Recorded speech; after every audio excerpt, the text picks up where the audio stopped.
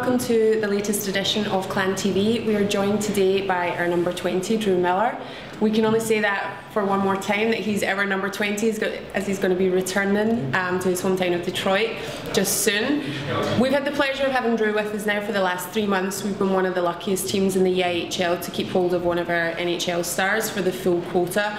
Um, so Drew, how has your time been with us? No, it's, it's been great. Um, on the ice, off the ice, everything's been, uh, everyone's treated us great. Um, got a chance to travel around Scotland and, and uh, see some really cool uh, castles and, and, Loch Ness and stuff like that. And, um, and at the rink, everyone treated me great. Uh, I think from the day one, the guys accepted me into the team and, uh, and uh, just try to come in every day, work hard, and, and kind of help out the, the, younger guys a little bit if I yeah. could. Um, but other than that, I mean, the experience has been amazing. Um, if I had a, a, chance ever to do it again, I would definitely come back. And, and uh, I mean, from the, the guys in the locker room to the staff to the fans, I mean, everyone treated me great and I had a great experience.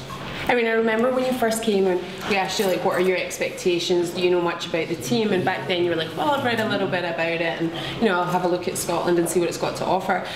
Are you glad that you came? Do you think you've achieved something that you maybe wouldn't have achieved if the lockout hadn't have happened? Yeah, I think uh, I think definitely coming here was a big positive for myself. Um, I mean, definitely with the lockout, you you want to find a place to play, and and uh, I mean, a lot of guys went different places and yeah. didn't have as much of a, I wouldn't say a good time, but they were a little bit less fortunate, I think, than I was uh, coming here and and uh, having a great time with the guys and uh, I got a chance to play a lot of minutes. Uh, I think the biggest thing is my, my role in Detroit is way different. I played third, fourth line, I grind, uh, chip the puck in, and I don't play a lot of offense.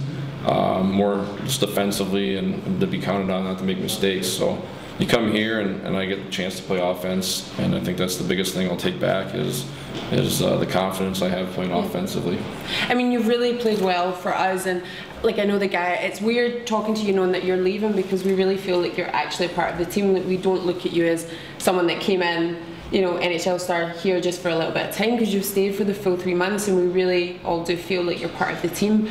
Do you think it'll be strange now going back to your own home team and getting that going again with them, like trying to get that team bond and that networking done again?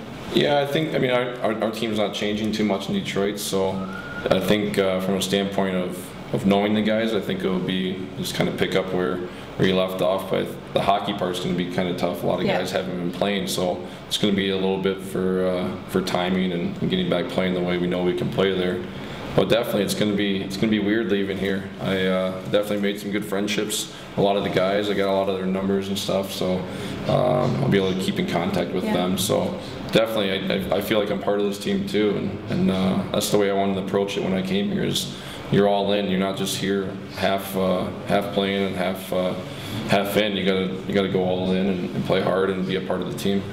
And now that you've had time to play on the team and play in the EIHL and look at the level of hockey here, has your opinion of that level changed from when you first came, from maybe what you anticipated it to be, and now you've been in it?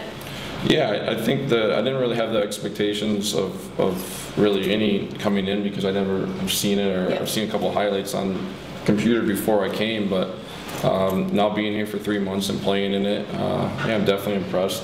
I think it's an up and coming league. I think uh, I think you'll see a lot more players coming over here because of the, the English speaking is, is a lot easier for some players to make that transition into hockey over here. Yeah.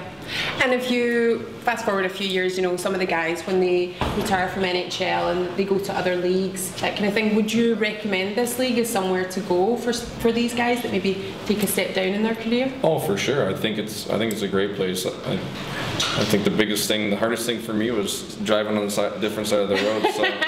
which you kind of pick on pick up pretty quick. So uh, no, it's definitely a place I would recommend for guys to come and play. Good. Well, I'm going to keep it brief because I know that you're going to have a lot of interviews to do before you leave. It's been a pleasure working with you. Um, the fans, you know, are extremely grateful for the time that they've had with you. They've enjoyed watching you play. The same with the players. Although this was your last home game tonight for the clan, you will be on the road tomorrow in Fife. So yep. anyone that wants to see you for one last time in a clan jersey can can do that. And obviously the door is never closed if Drew returns home and uh, the NHL decides to stay on Yeah. lockout, there, there may be a phone call and we'll, we'll see how he's doing then. So thank you on behalf of the clan organisation for your time. Well, thank you for having me too.